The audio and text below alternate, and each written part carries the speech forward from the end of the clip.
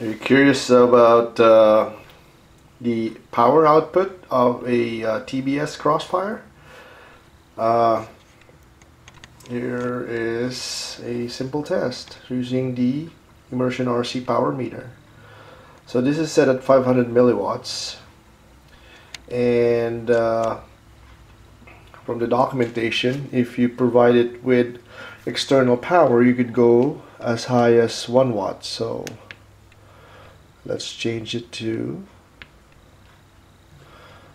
general uh, 1 watt and see so there you go. It is going as high as 865 milliwatt. Now let's try bringing it down to to its uh, lowest which is 10 milliwatt. Very impressive. It's uh, spot on on the lower uh, power level. So let's do 25 milliwatt. And let's do 100 milliwatt.